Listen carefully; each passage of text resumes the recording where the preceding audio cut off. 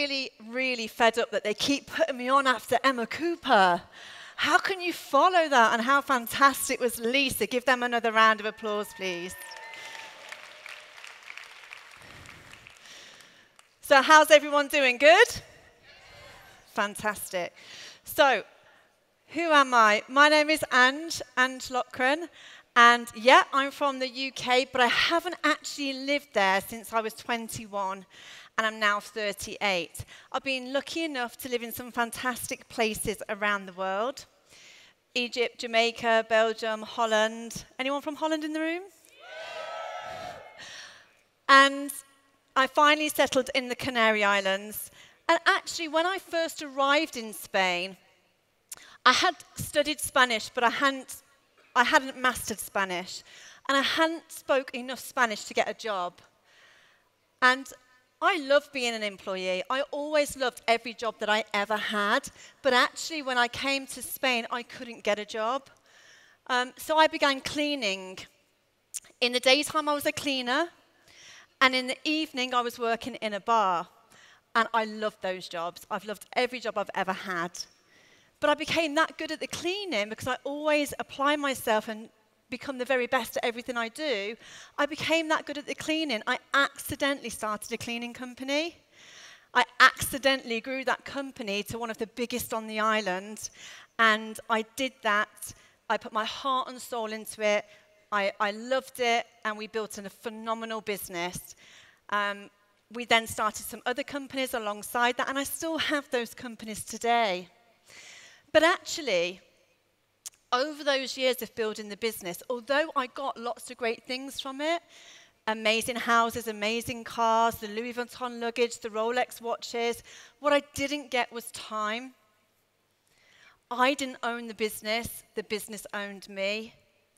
The busier we got in the business, the bigger the premises had to be. The bigger the premises had to be, the bigger the overheads had to be. The bigger the business was, the more staff we needed. The more staff we had, the more problems we got.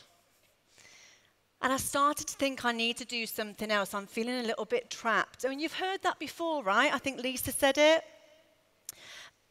But I was actually a little bit unemployable because who would employ one of the biggest business owners on the island to go back and work as a cleaner or in their bar or in their travel agency? I was pretty much a high risk because what if I stole their customers or stole their ideas or started up again in, as a competitor? But anyway, during that time, I met somebody on Facebook. She built a relationship with me via a group that we were in regarding um, something to do with fitness. And she added me as a friend. I noticed, you know, when somebody adds, adds you as a friend on Facebook, the first thing you do is start looking at all their photos.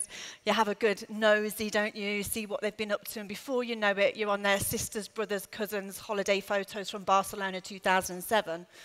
So I was having a good look on her page, this lady called Kate, and I noticed she was using something called an aloe toning kit. Have you heard of that?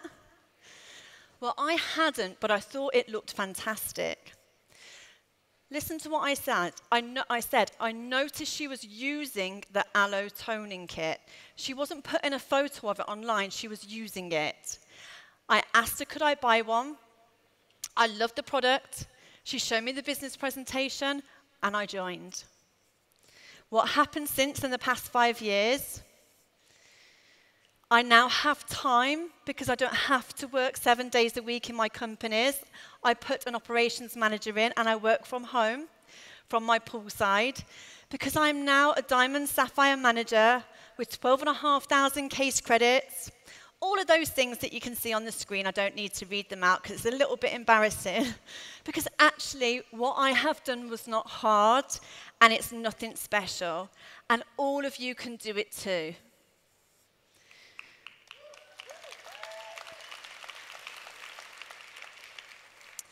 You know, I first stood on stage at the Global Rally in Hawaii. I think it would be 2013. I hope I've got that right. And the Global Rally in Hawaii in 2013 was my first speaking gig. Some of you may have seen that training, the Facebook training. And I'll let you into a little secret. I'll let you into a little secret. I had not qualified for that rally. That year, I was a senior manager in 2013, and I had done 1,349 case credits. But I had got in the wildcard way of chairman's bonus, and I had no idea how I got there. But I was on stage speaking on social media. And you know what? Like FK said earlier, what I said in that 20 minute training is all you actually need. And I don't want to repeat that again because still I think that people aren't watching and implementing those very, very basic bits of advice. And it's so, so basic. So just go back and have a look at that one and let's take through some, let's take you through some do's and don'ts. People are still scared of using social media. It's the most simple thing in the world. When you take away the fact that you are behind a computer or behind a telephone, if you take that away and just realize it's people to people, that's all you need to know. It's not complicated. You shouldn't get all confused. It's a great opportunity to network, but it can't replace face to face networking. All of the phenomenal leaders that you've seen on stage today built their businesses offline. Yes, FK and um, the next chap you're going to meet use social media as a tool, but they just use it as an additional tool. Face to face networking is what you should actually be doing. So let's take you through some do's and don'ts. Who watches Breaking Bad, Walking Dead, any of those big series, and you, you watch it week after week, and you get really excited at the end of the episode? You've got to wait another week to see what happens. And why do we watch those things every week? Because we're interested in the storyline and we're interested in the characters, and we like to follow what they've been doing. You need to make your social media like the next Breaking Bad, the next Walking Dead, the next big series. People need to follow your story. Know your audience. Who are you talking to? A mistake a lot of people in Forever make is they they present their social media to other FBOs you're not presenting it to FBOs. You should be doing that in your groups. You should be speaking to your FBOs in your groups. You shouldn't be speaking to FBOs on your public profiles. What you should be doing is speaking to your audience of people that may use your products and may be prospects. So that's the first mental switch that you need. Tell your story and introduce characters all your posts should always be either educational, exciting, inspiring. Your social media is like your shop front. And as you walk around this shopping centre, you will be attracted to go into different shops based on their window displays. So that's what your social media is, and that's how you will attract people to you. So, is your social media attractive? Is it vibrant? Is it colourful? I've, I've skipped ahead there. Um, your pictures should always be your own. So don't copy other people's pictures. We've all got a smartphone, right? If you're not using it for your business, it's a dumb phone. So learn how to take photos and learn how to upload them yourself to social media. Don't share other people's stuff. Because you are what makes your business special. The thing that you've got that no one else in this room has is that you are you. You are the special thing here. You're the secret. That secret that you're all looking for, it's you. So be yourself. You're what makes the business special. The PPPs keep it positive, professional, and polite. And I'll go into a few ways that you can do that later on. And don't forget that you're always representing Rex Maughan. Before I post on social media, I think, would Rex approve of this? If Rex had a look at my social media, would he be proud that I'm representing the family in the right way? Be real and be authentic. Again, this goes back to being you. It's all about you. Call to action. I see the most phenomenal posts from a lot of you in this room, but they're missing that little thing, and that's the instruction. People like to be told what to do. We like to be told. We're quite simple and we need a little bit of an instruction. Now, on social media, that's the call to action. That is your instruction to someone and what you want them to do. So maybe you've posted that you are um, having a fantastic time in Johannesburg and you've put a load of pictures up. What you want to put on the end of that is, would you like to be here next year? Drop me a WhatsApp on this number and I can show you how. Have a look at this link. Send me a message. Those are your call to actions. So don't forget to instruct people what you want to do. You know, the whole Noah's Ark thing, really, if Noah built that boat, he wouldn't just sit there and wait for, for the animals to come two by two, really, would he? I know how hard it is just to get my dogs in after a walk, and I've only got four of them. You have to go out and fetch them in. So that's what you have to do with social media. It's not if you build it, they will come. It's you build it and then you go and get them.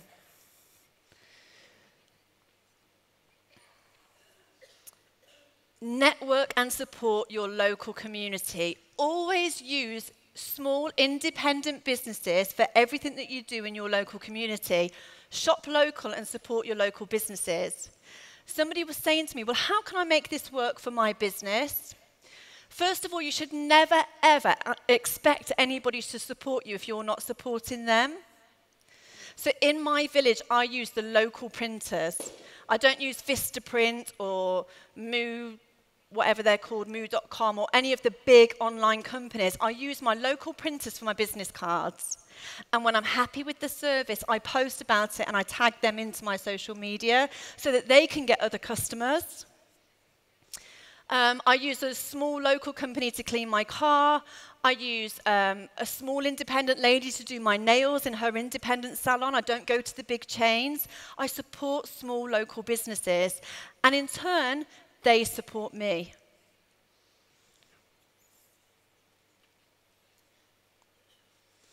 Again, don't have a dumb phone, have a smartphone.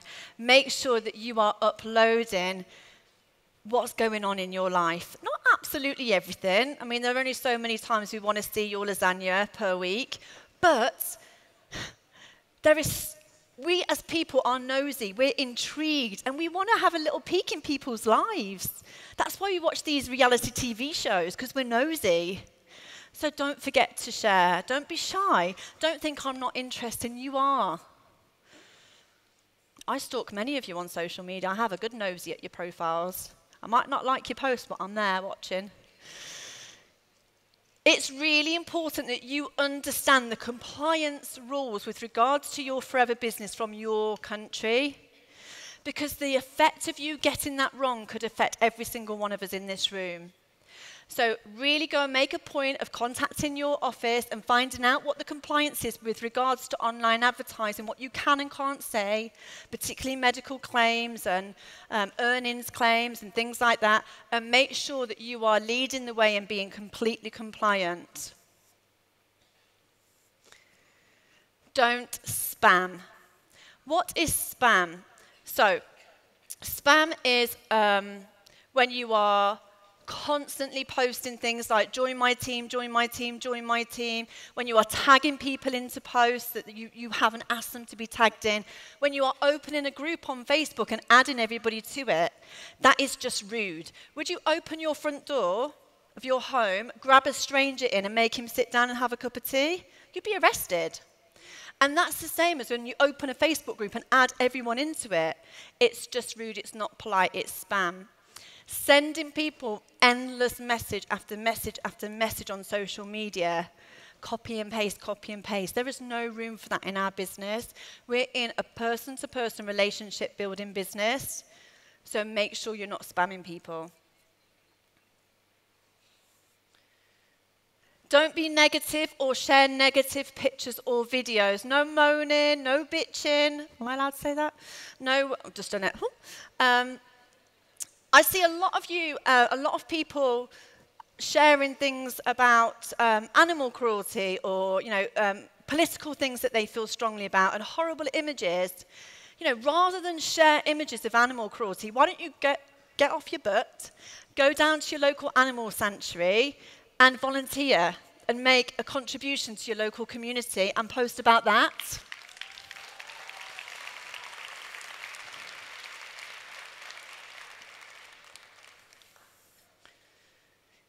Google is your friend, but stop copying and pasting stuff that you find on Google. When you want to promote Clean 9, the first thing you do is you go to your product center or you go online and you order yourself a Clean 9. You don't go to Google and type in Clean 9 photos.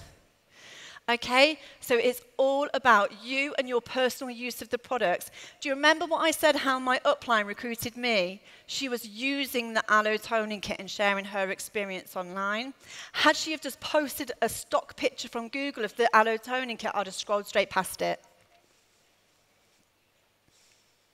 Don't use it as your only tool. You know, I saw um, the sister of Emma Cooper get off her plane, walk past a shop, um, catch the eye of one of the ladies in the shop here in the shopping mall, and she said, Angie, it's lovely to see you, but I really need to talk to that lady because I used to own a salon once, and I know she's really busy and our opportunity can help her. I'm going to go and give her my number. She was tired, she just got off the plane. That's what networking is never missing an opportunity to help somebody. Don't be false or fabricate your business or your lifestyle. You'll hear people say, fake it till you make it. That's not pretend that you're making loads of money. That's not pretend that you've got this awesome lifestyle. Really, faking it till you're making it is faking the confidence. I was saying earlier that, you know, Diana Page, when I first started speaking, she was my idol. And I used to stand behind the stage, petrified, and I would say in my head, I'm Diana Page. I'm Diana Page. I'm Diana Page. I would trick myself to thinking that I was Diana Page. And I can't believe I never, over those years, got on the stage and went, Hi, I'm Diana Page. So don't be false and fabricate things because do you know what? That is going to come and bite you in the butt at some point. Don't use forever jargon. So this goes back to me saying, know your audience. Your audience are not FBOs. Your audience are people that have no idea what a case credit is, no idea what an Eagle manager is, no idea what a global rally is, no idea what a supervisor is. No idea. No idea what a BizOp meeting is, a BP, a business presentation, a success day. So take those words out and think how you can be more descriptive so that people that are looking that don't know about forever understand. Don't oversell or undersell the products. The products are fantastic enough. Your own use and your own experience of them, your honest use and experience of them is enough. Don't undersell the products. I'm talking about price here within policy, and this will be reinforced pretty soon, it was explained to us with the executive GLT the other day, we are not permitted to advertise products at a lower price than the SRP, su suggested retail price.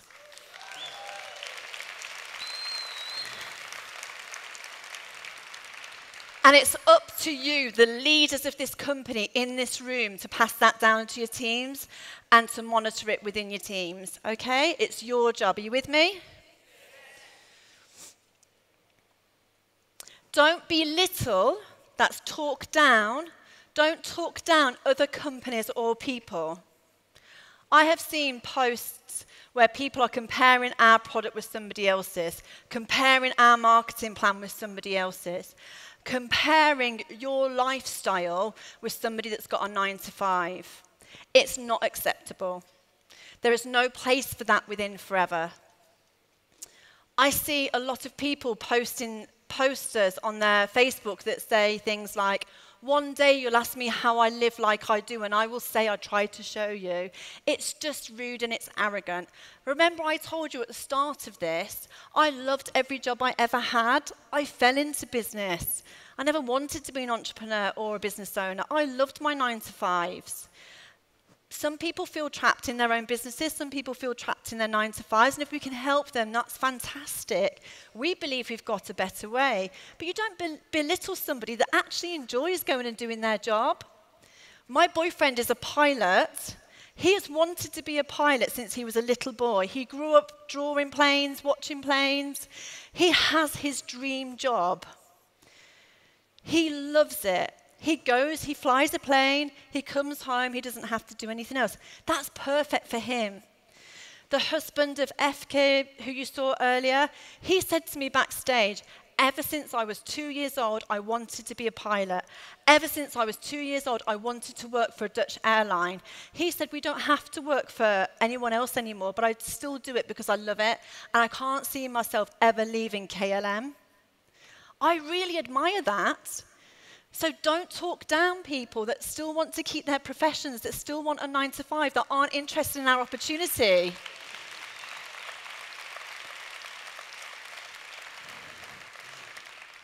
Be consistent. So when you get started with this, be consistent. I um, have taken a little bit of time out recently because sadly, um, my dad was killed in a horrific cycling accident uh, exactly six months ago today. And um, I took some time out. But what I did is on my business page, on my, uh, my Facebook business page, I scheduled all of my posts until June. So I decided what posts I was going to make so that I didn't just disappear off social media. So quotes and pictures and interactive posts. And on Facebook, on your business page, you can put what day and time you want those to appear. So I was never offline. So to my customers and to my prospects and uh, forever FBOs who follow me for inspiration, I didn't disappear. So no matter what's happening in your life, be consistent on your social media. So many people do it for a short period of time and then something stops them and they, they don't, they're not consistent or they think it's not working. It is, people are watching. And don't forget, it's not about how many likes you get, it's about how many lives you change.